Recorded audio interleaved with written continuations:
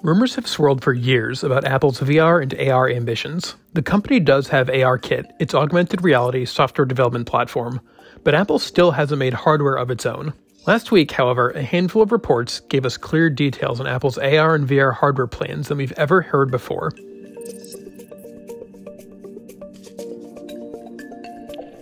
It started with a report from The Information that painted a picture of Apple's ambitious potential headset. The device is said to include a dozen or more cameras for tracking movement and showing the real world to the wearer.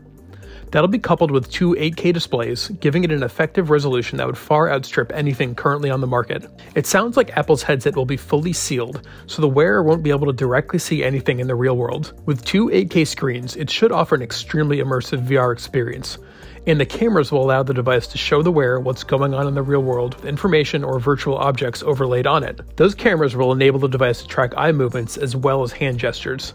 It'll also have LiDAR sensors, like those found on the iPhone 12 Pro and iPad Pro, to help measure the distance between objects in the real world and properly scale and present virtual objects in a physical space.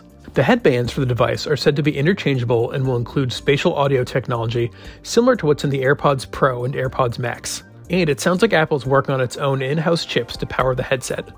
No big surprise, given that it makes its own silicon powering nearly all of its hardware these days. The information believes that the headset is in the later stages of development and could ship as soon as 2022, but given these potential specs, it's not going to be cheap.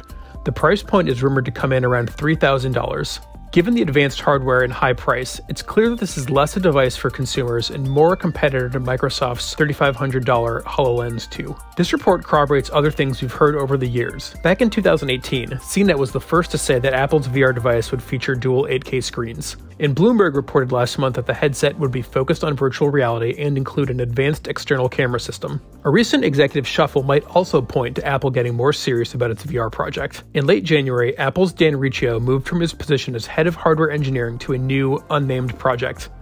Shortly after Apple made this announcement, Bloomberg reported that he was heading up the team working on Apple's headset hardware. The publication also claimed that the headset team was working through unnamed struggles, and Apple hoped to Riccio's experience would lead them through it. It's important to note that Apple has confirmed none of this, aside from Riccio having a new role working on an unannounced project.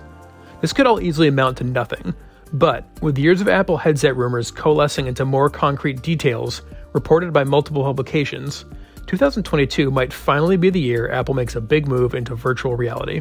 Thanks for tuning in. If you like what you see, click subscribe and stay tuned to Engadget for more news.